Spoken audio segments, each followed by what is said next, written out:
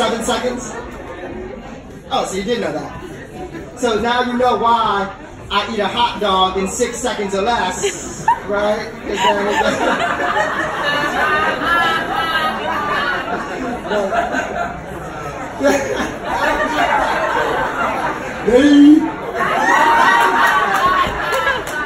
was seven seconds. It was seven seconds. All right.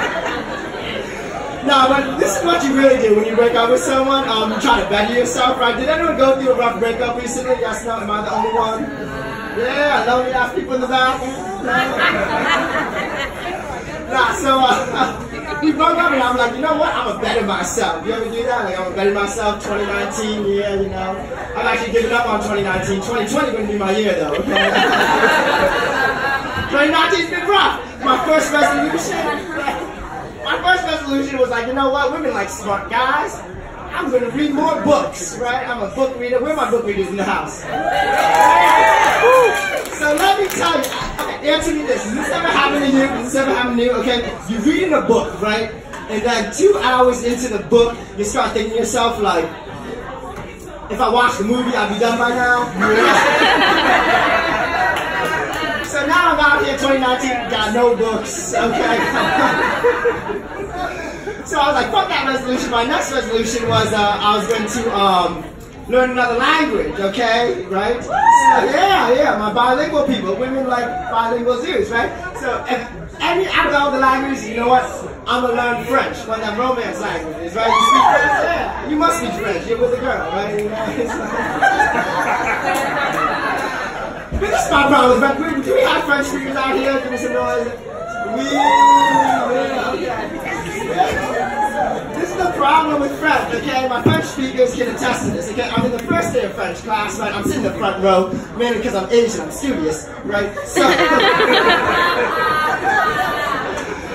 so the teacher's translating shit from uh, French to English, right? So she says in front of the whole class, like, as you can see in French, just like in English, the adverb comes before the noun. And I'm just like, I need to learn English before I can learn French. What the fuck is an adverb? so now it's 2019, no books, no French, and I'm still single. Woo! 2020 though. 20, fucking 20. I mean, stop being in a relationship. Cause like, did you ever get like really mad at your girl? You ever like, no, never. It's a happy relationship. I used to get so mad at my girl. Um, this is what I would do. I would uh, go into her kitchen, right? I grab every jar in the kitchen and just uh, tighten the lids on all the jars, you know. and now I'm single, all right. Don't forget that shit. Uh, and then the other thing you do when you're single, you try to like branch, uh, branch out of your social circle, right, and make new friends and shit, right? You know what I'm talking about? No, but you know what I mean? You try to branch out of, your, out of your circle, right? Um, yeah, I try to make some white friends, right? Uh, here's the problem with having white people. Uh, black people in the second row, you can back me up here. Um, don't you ever find your white friends are kind of culturally insensitive, right? You know? Because I swear to God, I'll be uh, uh, I'll be at home, right? I'll be making dinner, and then my one of my white friends calls me up. He's like, "Hey, Ryan, what you doing? I'm making dinner. What you making? Noodles. Oh, you're making Chinese food again? Bitch, in my house it's just called food. yeah. Um, another thing I don't understand about white people, um, let me ask you this. Um, what is gluten and why can't you people eat it?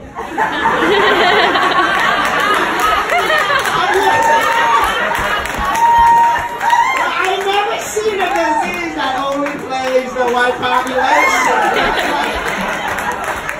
I it was sunburn that got gluten too, okay? So, it's like how wealthy did you have to get as a people to be like, you know what, it's too easy for us, let's try to do it without bread. You know, it's like, it's like being, being gluten free is like the white man's way of trying to be oppressed, you know? Like, I don't get it, I don't get it. There's no sense, right? Um, try to do? So then I try to make some black friends, you know. Um, people in the second row, you can back me up here. This is the problem I have with the black people. it's some true shit. Um, first of all, a good chunk of them they live on the south side, does anyone just, woo, So yeah, I'm trying to visit one of my friends, right? And um, he makes me get on the 96 bus, right, all the way to the south side. Um, we go to this cookout, right? Um, I get there early, you know, because I'm Asian, right? Um, now I'm tasked with the duty of buying food for the cookout, right? Um, so this, keep in mind, this is, keep in mind, this is up, uh, this is up in Congress Heights, right? Um, oh, bitch, you know. so this is what he says. He's like, go to the Safeway on Alabama Ave. There is no problem with the Safeway on Alabama Ave. Um, they need to rename it to the unsafe way. and let me tell you why you can't get no food at the Safeway Alabama Ave. Okay? I'm in there, right? Okay, I'm looking for quinoa. Okay, quinoa at the Safeway on Alabama Ave to bring to a black cookout. Okay, I'm looking for quinoa. and I swear to God, and this isn't even a joke. Okay, this is what the lady behind the counter says to me. She goes like this. She goes, Nah, she don't work here no more.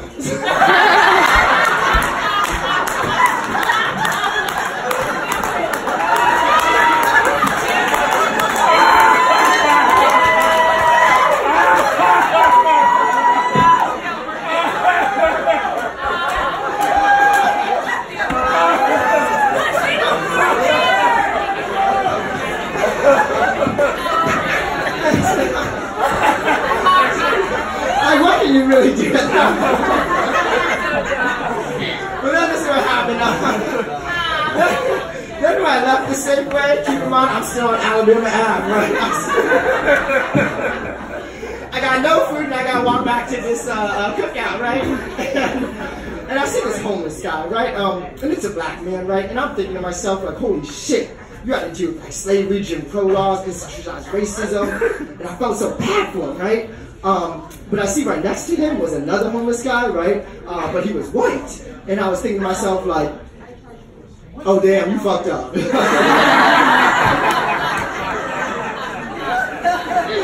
Because I was so confused because if I was like a white homeless guy, um, not that, if I was just like a white guy, if I was just like you in front what's his name? Uh, Matthew? What's your name? no, honestly, all I would do is grab a book, walk into Starbucks, and sit down.